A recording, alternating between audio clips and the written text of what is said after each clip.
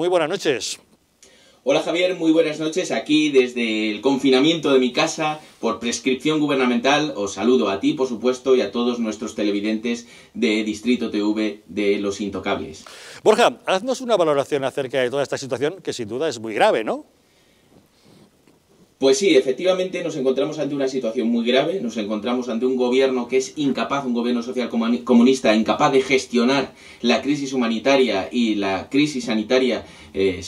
única y exclusiva que estamos viviendo en estos momentos y que además ha aprovechado para eh, eliminar unas competencias que no son factibles de eliminar en todo Estado democrático. Me refiero principalmente a eliminado el gobierno social comunista de Pedro Sánchez por primera vez en la historia de España el foro público y el Parlamento, de tal forma que la oposición no puede ejercer la labor de, crítica y de seguimiento al gobierno porque no existe ese foro. Ni siquiera en tiempos de guerra se ha eliminado el Parlamento. Esto, en otras circunstancias y en otro momento, podría haber sido considerado incluso como un golpe de Estado encubierto, de tal forma que entiendas el golpe de Estado como eh, la imposibilidad de los grupos de la oposición para poder ejercer como tal y por tanto el poder queda monopolizado en estos momentos en Pedro Sánchez, los cuatro jinetes del apocalipsis y lo que se les puede estar ocurriendo para hacer su pequeña revolución a los comunistas de Podemos, porque lo han hecho como tal.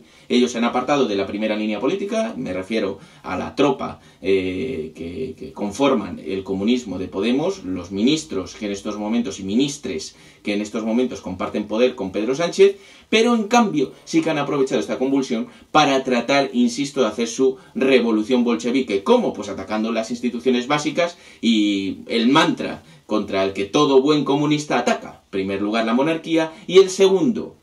tratar de nacionalizar y por tanto expropiar determinadas empresas en España. Por tanto, pido, como ruego, como, como español, que los grupos políticos constitucionalistas que apoyan y creen firmemente, primero la Constitución y segundo la unidad de España, se unan de tal forma que apoyen, aunque duela, aunque cueste, en las circunstancias mayúsculas y en las, em, digamos, eh, eh, directrices y en aquellas gestiones que sean de interés nacional al presidente del gobierno Sánchez para que de esa forma él pueda eh, apartar, quitar, retirar competencias a los comunistas de Podemos y pueda no estar supeditado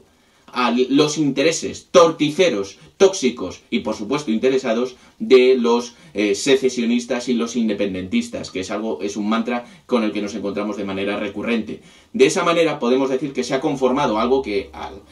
algunos les produce urticaria, pero es así un gobierno de concentración, apoyando al presidente del gobierno, sí, pero de esa forma quitar a aquellos que realmente quieren destruir la unidad de España y que no están capacitados para tomar decisiones, porque lo único que han hecho hasta la fecha es gestionar el dinero que amablemente les daban sus abnegados padres en forma de paga semanal.